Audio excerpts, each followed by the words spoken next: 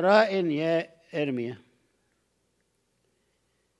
فقلت إحنا عارفين معنى إرميا إيه مش كده؟ هم؟ آه آه يعني إرمي الزبالة بتاعت بني إسرائيل بره ودخل المسيح إرمي ناموس الأعمال وحط ناموس الإيمان ومن أوضح الآيات عن آه العهد الجديد في إرميا 31 31 دي محفوظة خالص. اللي هو ما فيش فيه كهنوت خالص. ما فيش حد محتاج واحد يعلمه لأن الروح القدس يسكن الإنسان. العهد القديم الروح القدس ما سكنش الإنسان. فدايما يروحوا للكاهن يسألوه عمل إيه؟ نعمل إيه؟ نعمل إيه؟ نعمل إيه؟ لأن هو الكاهن لابس وقتها كانت صدرة الصدرة والصدرة دي عليها نظام معين يعرف بيه الإجابة على السؤال أه ولا لأ. الصدرة دي رمز الروح القدس في العهد الجديد مفيش دلوقتي صدرة ولا رئيس كهنة حتى مفيش خالص. دلوقتي اتشال نظام الكهنة صار كل المؤمنين كهنة وكلهم فيهم الروح القدس. فصار كل واحد مسؤول عن ما يفعل هو رسميا كده. لو رئيس لو واحد أضل واحد رئيس كهنة أو كاهن ربنا عاقبه. لكن دلوقتي لو واحد راح لرئيس كهنة من في رؤساء كهنة دلوقتي في طوائف كثيرة أو رؤساء طوائف هو اللي غلطان وراح ما روحش. إلا لو ما فيش روح قدس هيعمل إيه طيب؟ لازم يروح. وهو غلطان والتاني غلطان. لأنه العهد الجديد ما فيش واحد يعلم حد. الله بيتكلم جوانا بالروح القدس. لما يقول دلوقتي ربنا ممكن يقول كلمة لفاتن. أنا ما سمعتهاش هي مسؤولة عن كلمته أو العكس. فهنا ناخد بقى من عدد 11 ثم صارت كلمة الرب إلي قائلا ماذا أنت راء يا إرميا؟ فقلت أنا راء قضيب لوز اللي هي قلنا قضيبة ساهر بس استغربوا إيه قضيبة ساهر دي لكن هي قضيب واحد سهران على كلمة يجري أو بالضرب. ده بالظبط إرميا إرميا في عهده في شعوب فانية تماما تماما. خالص. لأن ربنا جابه لهذه النبوات. نعم. هو فيش غيره. ده هي المسيح. ده المسيح. هو هو اللي بيسأل على كلمة يجريها فيش غيره. فقلت أنا راء قضيب لوز فقال الرب لي أحسنت الرؤيا لأني أنا ساهر على كلمتي لأجريها. وليه هنا قال برضو الكلمة دي؟ لأن في كلام قاله الرب من ممكن 600 سنة ورا تم في إرميا ومين اللي بيسهر بينفذها مش بني آدم هو الله بيسهر على الكلمة ويجريها. هو قال كده في وقته أسرع به فالقضاء على أمم كثيرة جرى في أيام إرميا الواد الصغير ده. اللي قال له أنا والد أنا ما تقولش أنا والد. فقال ربي أحسنت الرؤيا لأني أنا سار على كلمتي الإجرية. ثم صارت كلمة الرب إلي ثانيا. ثانية قائلا ماذا أنت راء فقلت إني راء قدرا منفوخة ووجهها من وجه الشمال.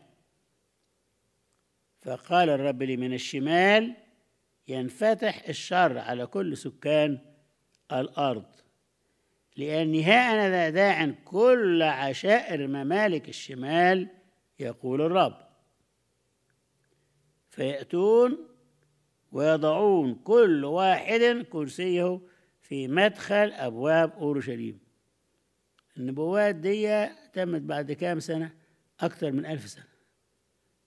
الشعب بيعاني وجاي هنا الكلام يعني. فتمت في أيام يشافون بعينيه وعلى كل أسوار حواليها وعلى كل مدن يهوذا. وأقيم دعواي دي خدناها المرة اللي فاتت إحنا. هنبتدي بس 17 النهار نبتدي من النهارده. وأقيم دعواي تقيم دعواهم دعواها دعواك قدام مين؟ قدام المنفذين لأحكامي. يعني هخلي كل واحد منهم عبد ليا بالظبط ينفذ اللي أنا عايزه بالظبط ونعرف إنه أفتكر في سفر آخر أو ارميا ارميا حزق- حزقيال يعني. إنه كان ملك بابل بيعمل قرعة علشان يهجم على مين الأول؟ فجات له القرعة مش على أورشليم. فربنا أقنعه إن الرؤيه دي كذب عشان يهجم على اورشليم فتحول الرؤية اللي هو المفروض ده دي من الناس كبار قوي في بلده بتوع آه، سحر يعني وحاجات مهمة قوي فلكن ربنا خلاه يقتنع انهم كلهم كذابين وخابت الرؤية منهم المرة دي وينزل على أورشليم ليه؟ لأن ربنا جه وقت خراب أورشليم. ليه وأقيم دعواي على كل شر؟ وهي شرهم لأنكم تركوني وبخروا لآلهة أخرى وسجدوا لأعمال أيديهم. في نوعين من الارتداد في الكتاب المقدس خاصة في العهد الجديد بيقول لنا الفرق بين ده وبين ده. في الارتداد ليس للهلاك والارتداد للهلاك. الارتداد ليس للهلاك للمؤمن اللي اتضحك عليه. زي بطرس ملعن وحلف ما عرفش الرب ده بيضحك عليه. مع إن الرب أنذره ما خدش باله. أو تايه كان طبعا في حالة صعبة جدا يعني. الارتداد الهلاك هو للإنسان اللي قاعد يمثل يمثل يمثل انه مؤمن وفي الآخر بقى طفش فارتد وقعد يلعن في المسيح مش ندم لا ما ندمش وكمل لعن لغاية لما هلك يعني ده الارتداد للهلاك. فهنا بيقول وأقيم دعواي على كل شرهم ده على 16 لأنهم تركوني وبخروا لآلهة أخرى. والإنذار ورا إنذار ورا إنذار. ما رجعوش. هم مبسوطين مع الإله التاني ده. ال- ال- الرب بالنسبة لنا إحنا بي بيشكم شرنا. أو يحاول بقدر السلطان بتاعه علينا كل واحد بيدي سلطان للرب عليه. يعني الرب ليه سلطان على كل البشر لكن مش كل واحد بيخضع للرب. فحسب سلطانه علينا بيوبخ بيبكت بيأدب. هو كان مؤمن ما بيحسش أو مش عايز ي... هو كده خلاص.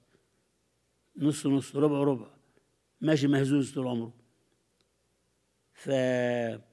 فالدعوة اللي بيقيمها الرب على الإنسان إما تجيب نتيجة مع الإنسان بالتوبة مفيش غير التوبة. داود خرب الدنيا وتاب خلص الموضوع. موضوع بالشبع وجوزها اللي قتله ده. فيقيم دعواه على كل شرهم لأنهم تركوني. حد يترك ربنا ويبخر الأوثان؟ ده معتوه إيه ده؟ معتوه أخاب عمل كده. هلك يهورام ابن يهوشافاط عمل كده. هلك. وراح يهوشافاط راح متجوز واحدة هلكة اللي هي عسالية دي. فالدعوة اللي بيقيمها ربنا على كل الأشرار لأنهم تركوني وبخروا لآلهة أخرى. العمل التاني اللي عملوه وسجدوا لأعمال أيديهم. على فكرة عمل الإيدين بي- بيغلى على الإنسان طبيعي لأنه عمله بإيديه. يعني مثلا نفترض واحد نجار عمل آه، ترابيزة السفرة بتاعته إيديه والباقي اشتراه هتلاقي الترابيزة أغلى من اللي اشتراه هو عملها بإيديه. صنعت إيده يعني. فاللي اللي ماشي ورا عمل ايديه مسكين جدا. كل حاجة غالية عليه اللي هو عملها. طب اللي هو عمل ده كله غلط فغلط لأن مين فينا كامل؟ مين فينا عنده حاجة يعملها روحية؟ ولا حد. التقليد اللي الرب قال عليه قديم أبطلتم وصية الله بسبب تقليدكم. وبعد كده في 100 تقليد دلوقتي. كله باطل وقبض الريح. مفيش ولا حتة في تقليد أي كنيسة عدل. خالص. طبعا وهو شغال للأبد.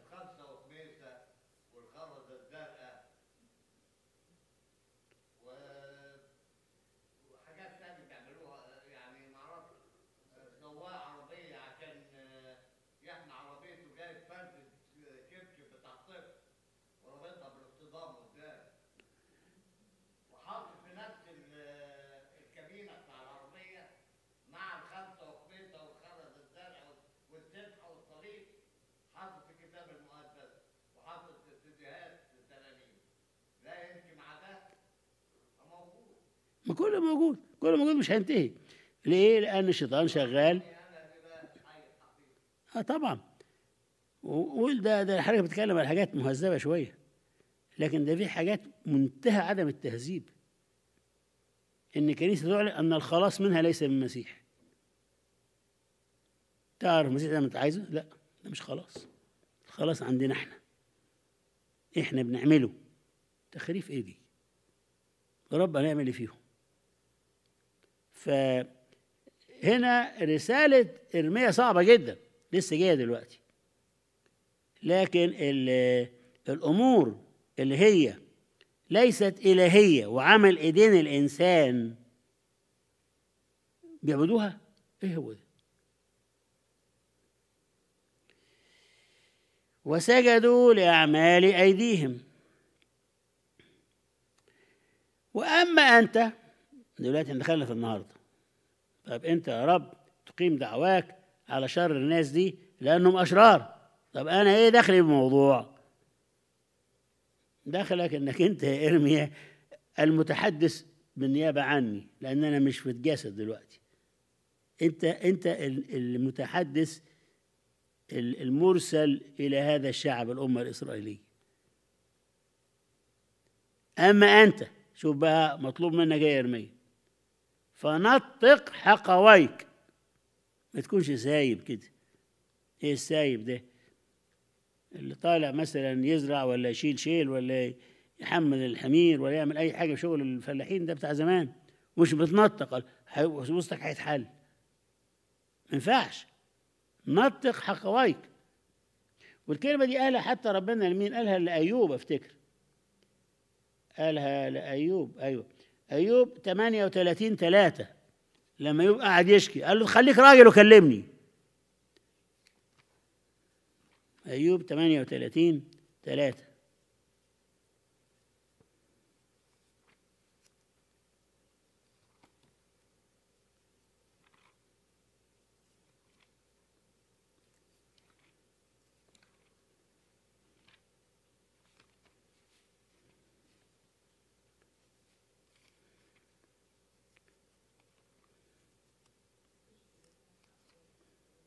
إيه اللي بصوت عالي يا دولت؟ إيه اللي بصوت عالي؟ آه اشدد الحق شدد الحق وايك خليك راجل يعني اللي اربط. اللي هو زي ما قال هنا نطق حق وايك تفضلي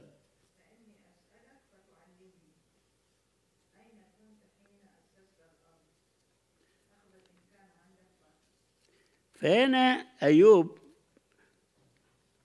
متلخبط في ربنا لأن ربنا ضرب ضرب جامد لكن هو متلخبط. هو طبعا ضربه ضرب جامد لأنه أتقى إنسان في الأرض. يلعب معاه لعبة مثلا يعني بتاعة تساوي مليم ما ينفعش. عملوا ضرب يساوي مليون دولار عشان ياخد المكافأة. فبرطم أيوب. فقال له طيب يا راجل أنت تعالى علمني. أيوب سمع كده طبعا ذهل اعلمك إيه قول لي يعني أنا المفروض أعمل لك إيه يعني؟ طبعا أيوب إيه ده؟ يعني إيه؟ قال لك إيه؟ في الآخر اعترف إنه تراب ورماد ولا فاهم حاجة خالص. قال له كده كويس. أقرأها لكم معانا عشان اللي بيسمعوها اللي في الميكروفون هناك. أيوب 38 وعدد ثلاثة.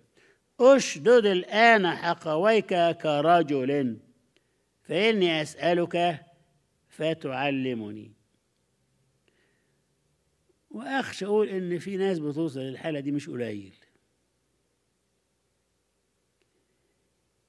أنا كذا نعم. آه. طبعا.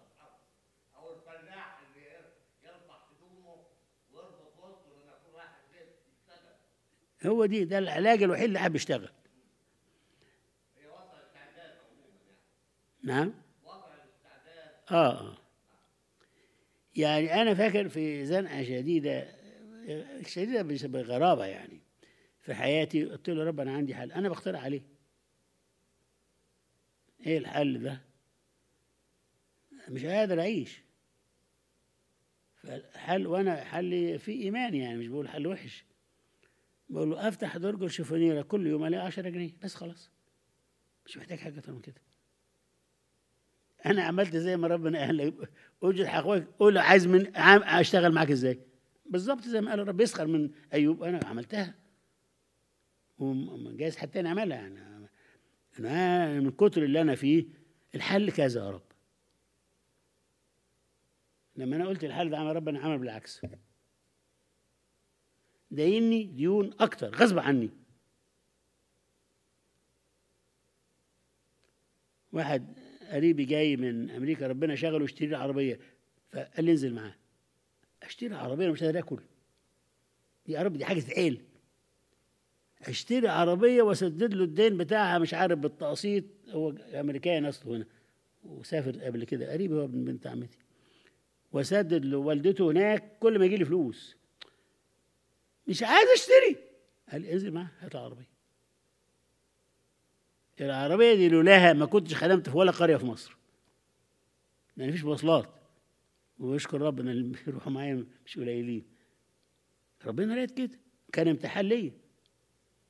وقعد الدين ده الحكاية حوالي سنتين. وبعدين فجأة فجأة من حيث لا أدري واتفك كله. بقيت مذهول أولي. دي الأخيرة دي قلتها لمراتي. قبل كده ما قلتلهاش حاجة خالص. طبعا لأن أنا لازم أراعي مشاعرها يعني. تشوف جوزها مديون ليه يعني. فقصدي الكلام بيقوله هنا ربنا حصل معايا رسميا. قلت له اعمل لي كذا.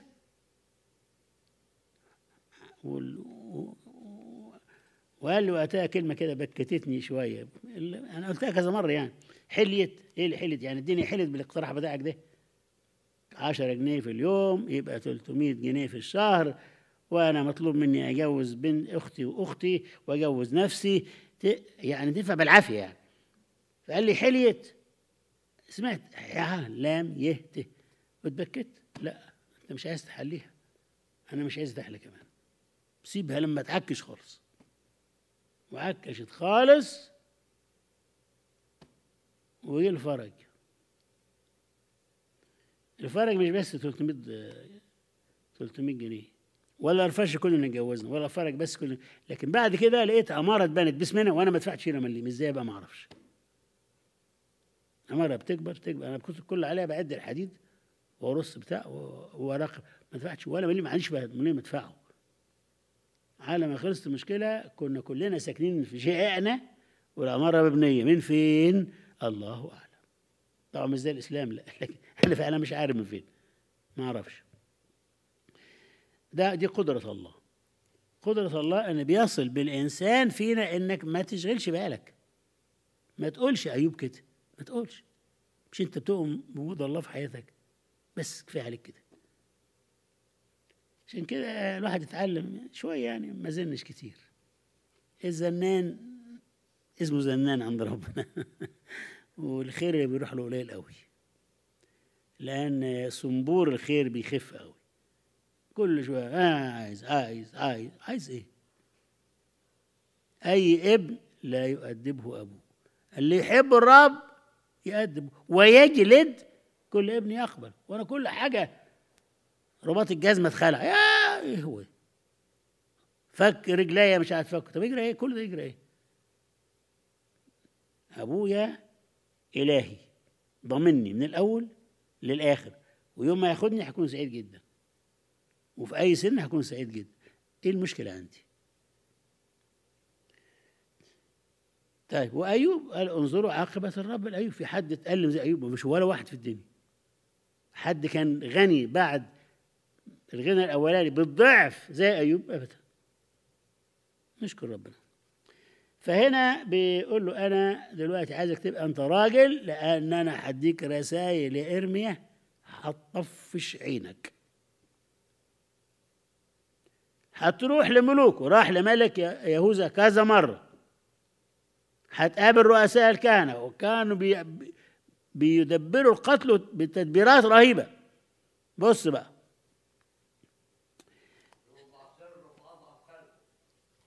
طبعا هو يحب الضعيف يا شيخ ويدي بالقلمين امجد خلقه وضربهم أما أنت فنطق حقويك. وقم وكلمهم بكل ما آمرك به. طب افرض قلت لي آمر ملك أقول له تقول له على طول. وفعلا صدر لإرميا الأمر إن يروح لملك يهوذا يقول له سلم البلد لملك بابل. ربنا عايز كده. الراجل طبعا اتجنن يعني إيه؟ ده بابل ده وثني يدخل بلدنا يعمل إيه؟ قال له ما سلمتهاش هتعمى وعمي. وهتتجر البابل وجروه لبابل بعد ما عموه في السكة. وقتل أولاده قدام عيني. كل اللي هو الارميه حصل. وقال له لن ترى بابل. ما شافهاش لأنه أعمى. إيه ده؟ أي حصل؟ طبعا الأمر ده الملك صعب جدا يتقال. وكرروا إرميا كذا مرة قال له الكلام ده لغاية لما حصل كل ده.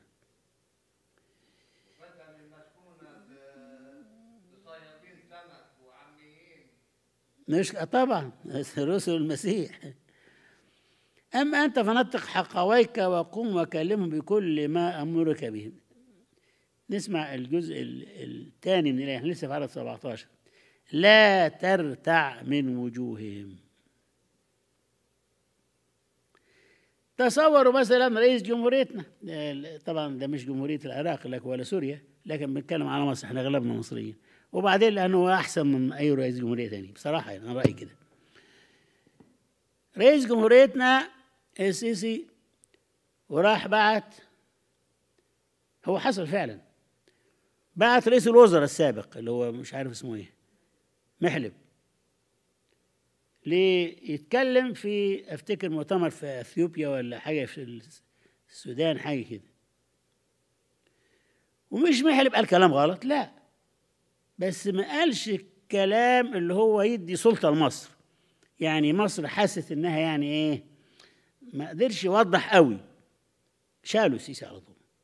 خلاه معاه في الشغل. لأن راجل مجد ومجتهد وحلو خالص. بس مش رئيس وزراء خلاص.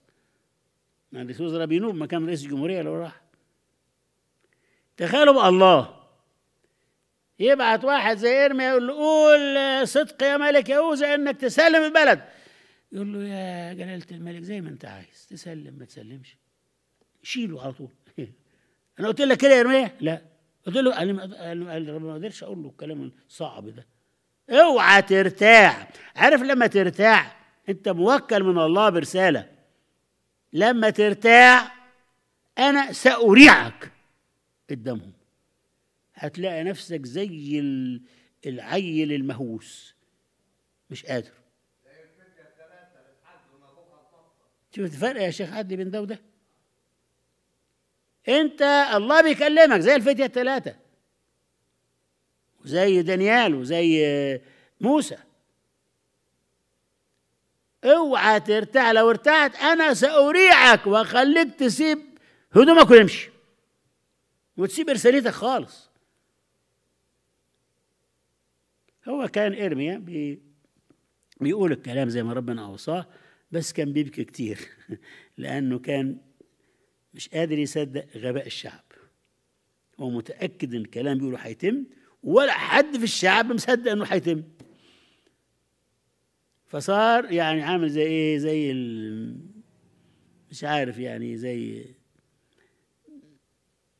إيه بيبوق ولا حد سامع. هبوق وخارج كده بس لكن حد سامع لا. أما أنت فنطق حقويك وقم وكلمهم بكل ما أمرك به لا ترتع من وجوههم لئلا أريعك. أمامهم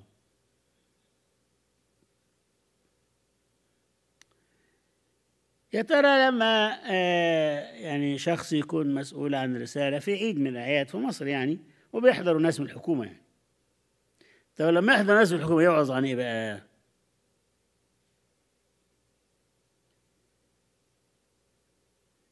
يوعظ عن السلام بين الإسلام والمسيحية. يطلع الناس في الحكومة فرحانين أن المسيحية تعترف بالإسلام. خلاص. طول عمره يقولوا صليب صليب. لا النهارده ما فيش صليب. لأن الصليب ده ده سب عند الإسلام. فلو واحد حاضر مسلم يقول صليب إيه المجرم ده؟ بيتكلم عن سب الإسلام. إحنا بنكره الصليب جدا. فاللي بيحصل إنه للأسف كثير من الخدام بعد الحفلات اللي زي كده بينزلوا تحت خالص. خالص. لأنه ما لهمش لازمة. لأنهم بيجرسوا ربنا. آه، أما أنت فنطق حقويك وقم وكلمهم بكل ما أمرك به. الكلام ده مهم جدا اليومين دول. لأنه إرضاء الناس بولس قال عنه كنت أرضي الناس فلست عبدا للمسيح. المسيح لم يرضي الناس إطلاقا. خالص. ما فيش مقابلة بينه وبين أي حد خاطي إلا المسيح بكته. رؤساء الكهنة. الكتبة قال رؤساء الكهنة إيه؟ لا تعرفون الكتب. قال للكتبة والفريسين إيه؟ المرائين. يحملون أحمال ال- الحمل. ولا يحركون بإصبعهم. إيه ده؟ كل ده كلام إيه؟ مين أنتوا؟ فدي إرادة الرب. فبيقول لإرميا خليك راجل اللي قاله لك تقوله اوعى تخاف. لئلا أريعك ها أنا ذا قد جعلتك اليوم. شوفوا بقى الوعد الإلهي العجيب. عشان لا يرتاع إلي. امتس إرميا. وإيليا كان زي إرميا برضه؟ بس كل واحد ليه رسالة إيليا كان جريء جدا مع أخاب ها أنا قد جعلتك اليوم مدينة حصينة. أنا مدينة؟ ده أنا فرد ولد. أيوة بقوة مدينة حصينة. ما حدش يقدر يغلبك. ولا حد يقدر يضايقك. ولا حد يقدر يرد على القوة الروحية اللي فيك. مش بس مدينة حصينة؟ وعمود حديد وأسوار نحاس.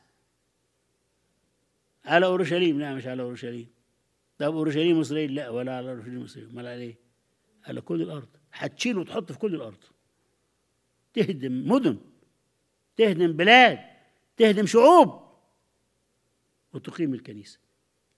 ترمي الزبالة دي وترمي الأساس اللي هو بالنعمة أنتم مخلصون في العهد الجديد اللي قلنا عليه رمية قصدي ارمي 31 31 وهنا بيقول له بعض الحاج... ال... ال... آه، الناس اللي هيقابلهم كتير. بدأ بإيه؟ تكملة على 18 لملوك يهوذا. الملوك. وإرميا شاف كذا ملك شاف كذا واحد. إرميا ده كان في أيام يوشيا ويوشيا خلف كام؟ خلف ثلاث عيال الثلاثة ملكوا واحد ملك ابنه كمان يبقى أربع ملوك بعد يوشيا يبقى خمس ملوك شافوا. طبعا يوشيا كان يوم العهد العز مع إرميا. ده هو إرميا يعني إرميا ده رفع يوشيا رفاع عجيب جدا. فخمس ملوك حضرهم إرميا. أولهم قديس ولاده الباقيين وحفيده ثلاثة أولاده وواحد حفيده. شياطين الأربعة. وياما كانت رسالات التبكيت رسالة ورا رسالة. ويسألوه تاني وال- والملك الأخير ده طول في الملك فكان كل شوية تعالى قول لي تعالى قول لي رأي الرب يقول له يقول له بصراحة يقول بس أنا مش قادر يا مش قادر مش قادر. هتكسف أنا. إزاي أسلم البلد ده؟ ده كله بيقول هنحارب. زي أيام عبد الناصر في مصر. هنحارب هنحارب هنحارب. ما تهمكش من أمريكا ما يهمكش. لغاية لما خربت مصر برضه وقتها. وبرضه خربت أورشليم وقتها. ثابت خالص بس مصر ربنا أبقاها لينا شوية. لملوك يهوذا ولرؤسائها. إيه الرؤساء دي؟ الرؤساء الوزراء والطقم بتاع الملك. ما دول اللي بيرأس الملك ده الملك الكبير لكن في رؤساء تحته كتير قوي. ولكهنتها نلاحظ إن إرميا ده من الكهنه بس هو ما افتكرش بقى كاهن يعني لأنه هو يعني كان كتكوت كده من زمان ولد وجات له رسالة فخدها من ربنا على طول بقى نبي ما بقاش كاهن. الكاهن ده اللي هو بيشتغل إيه؟ بيشتغل شغل اليهود في العهد القديم الكهنة والفر... اللي هم مش فريسيين الكهنة. الكاهن اللي هو يقدم الذبايح واللوين يساعدوه في الذبيحة والقصص دي اللي هي على رتبه هارون اللي هي جاية من صدوق الكاهن يعني. دول خلصوا خلاص ومفيش كهنة دلوقتي. نعم؟ نعم؟ خالص. بتاع 18 دي إيه ده؟ جعلت كمدينة عظيمة تخيل حتة بتاع العيل ده آه. مدينة عظيمة ده هو- آه، موسى بعد 80 سنة ابتدى يستخدم لما دخل خدوا البرية وطلع بيه واداله مساعد موسى. أسوار وعلى كل الأرض يا شيخ عادل. السلطات؟ لا السلطات مفيش هو ده من ربنا بس. من ربنا بس. لملوك يهوذا ولرؤسائها. اولا لكل الأرض قبل كده اللي هي اسوار نحاس على كل الأرض. لملوك يهوذا ولرؤسائها ولكهنتها ولشعب الأرض. دول كلهم تبع بني إسرائيل ال- الاصطاف الأخير ده. فيحاربونك. مش مش هيحاربوكش هيحاربوك. ولا يقدرون عليك. وده الكلام ده إيه؟ ده في الأصحاح الأول من سفر إرميا. يعني ربنا عارف المصايب اللي جاية على إرميا دي شكلها إيه. وعارف دموعه شكلها إيه. ودموعه كلها عشان خلاص إسرائيل. إزاي الناس دي مش فاهمة؟ إزاي الناس مش فاهمة؟ لملوك يهوذا ولرؤسائها ولكهنتها ولشعب الأرض. فيحاربونك ولا يقدرون عليك. ليه؟ لانك قوي. لا. ما فيش حد قوي. صدقوني ما فيش حد قوي. أقوى بني آدم في العالم.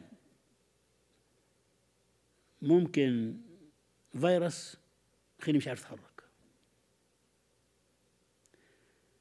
أكبر واحد كان مفتخر في الشرق الأوسط أولادي. وقتل بيده واحد من أولاده. قال مستحيل. ليه مستحيل يا أخوي؟ فاكر نفسك مين؟ ولا حد ولا حاجة. عبد الناصر في أوج مجده مات. فجأة كده. وقعدوا يوم مش عارفين يعيدوا الخبر للناس. كل اليوم قرآن. وإيه اللي حاصل في البلد؟ مفيش حاجة خالص. فين؟ ده مات على الفجر كده. في قرب الظهر كده بعد الظهر بشوية. قالوا خبر مات. لما ما ما فيش حد في مصر كان مش واجب ومش تعيس. هنروح فين عبد بعد عبد الناصر؟ هنروح فين؟ هنروح فين؟ هنروح فين؟ ادي عبد الناصر. وعمل إيه عبد الناصر يعني؟ ما ضيع الجيش وطير سينا وضيع السودان لا هو هو خرب البلد كلها خرب السودان معانا. لكن إيه كان ليه شخصية قوية. فالناس بتعبده بصراحة يعني. الناس آه ده جنازته رهيبة جدا. كان فيها خمسة مليون واحد. من كل البلاد جم وراه يعني يعني مفيش مناقشة بين جنازته وجنازة البابا اللي فات ده برضه كانت جنازته كبيرة قوي ده عبد الناصر كل العالم مش وراه. آه، وهو الحقيقة مفيش حاجة صالحة عملها في مصر. بس بنته هنا يعني الواحد مكسوف يقول كده ده تسمعنا بنته تزعل مننا. لكن مفيش حاجة صالحة عملها. حط دماغه في أسيوط هد كل العائلات المسيحية الكبرى في أسيوط. دي أكبر بلد أو محافظة كانت مليانة مسيحيين بيديروا البلد منهم وزراء هيقابل عبد الناصر. مكر معبيد ده كان في هنا من هنا هنا هناك برضه. ده كان وزير التربية والتعليم. ابتدى التعصب الشديد جدا وشفنا كل الذل المسيحيين وربنا في الآخر خده. خدوا في أوج مجده لدرجة بيقولوا السيدات اللي سموا لأنه بينهم السيدات كان مشاكل كتير. بيقول القصة إن هو فعلا دي قصة حقيقية حصلت يعني. كان هو آخر الاجتماع سوري بنتكلم في السياسة بس أصل ربنا هو سيد السياسة. آخر اجتماع كان متضايق من الملك حسين وقعد يشتم فيه. ابن أمه ابن أمه ابن أمه عشان هو مش عايز يدخل حرب معاهم قبل ما الحرب تخلص تنتهي. فالحرب انتهت بخسارتهم كلهم إلا حسين ما دخلش. لكن برضه كان حزين جمع الملوك كلهم عشان حارب تاني. فكان متضايق من حسين خالص. طب ده داخل داخل ناصع يا أخي ما خربش جيشه. حمى جيشه من التخريف بتاعك يا عبد الناصر. ما ما ظلاش كان ترزق خاين ابن أمه مش عارف أمه اسمها إيه كده كان بيشتمه باسم بأمه على طول. فتنرفز خالص فبعدين آه، دي كلام ما أعرفش حصل ولا ما حصلش لكن ممكن يكون حصل. فراح آه، السادات والسادات حية. قال له يا ريس انت دلوقتي مش هيهديك إلا فنجان قهوة أعمله لك أنا. كان هو نائب الرئيس. هو بقى الرئيس بعديها بساعتين ثلاثة لما مات عبد الناصر. وبيقول إن هو صرف الطباخ من المطبخ امشي أنت وعمل كل ده قصص مش لازم يكون صح ومش لازم يكون غلط. لكن بقول السيرة الذاتية لأشهر واحد في مصر النايب بتاعه هيبقى النايب. عايز يمشيه عشان هو يبقى نايب. كل دي قصص سياسة قذرة جدا. فين الشعب العارف الرب؟ فين الشعب اللي يخاف الله؟ كل دول ما يخافوش ربنا. إرميا كان في ذلك وقت مثل السياسيين وقتها كل الملوك نفس الطقم بتاع كل الملوك في الدنيا ولغاية ما يخ- يخلصوا الملوك وربنا يريحنا منهم ونروح لربنا. فيحاربونك ولا يقدرون عليك لأني أنا معك. نفسي أنا بعملها مع نفسي لما أنا يعني سامحوني يعني. في ضعفي يكون الشيطان إيه؟ ونوني في حاجة. أصحى من الصبح حتى أمجد قالها أنا كنت فاكر إن هو زي رخر مش مش كل يوم يعني بس يعني قالها مرة أمجد قال بقى له شوية معايا. فأحسن علاج الحتة دي الرب معي. خلاص. اعمل ما تعمل وسوس اعمل. قول عايزه. لن يتم إلا ما يريده الرب لي في حياتي. من ذا الذي يق- يقول فيكون والرب لم يأمر. ده مصدر القوة. مصدر القوة. الحقيقة متعود بعد كده أقوم من السرير خلاص مفط البتاع ده من على دماغي. وبشوف ال- اللي ورايا اللي ربنا عايزني أعمله. فيحاربونك ولا يقدرون عليك لأني أنا معك. يقول الرب لأنقذك فمن علينا؟ ومن إنقاذ لإنقاذ يا شيخ عدلي إنقاذ من الأوهام إنقاذ من المخاوف إنقاذ من الشرور الحقيقية اللي فعلا جاي شر. فزنا منها. إنقاذ من وساوس الشيطان إنقاذ من كل العالم الروحي الفاسد. هو طبعا. متكلم متكلم. ربنا بيبوق فيه يعني. شكرا للرب شكرا للرب إن كان الله معنا فمن علينا؟ لماذا تأنين في نفسي؟ ترجي الله. ترجي الله. لأني بعد أحمده هو ربي وإلهي. ماشي ده للرب اتفضل يا أخ جورج حبيبي. إن شاء الله نبدأ صح اتنين المرة الجاية.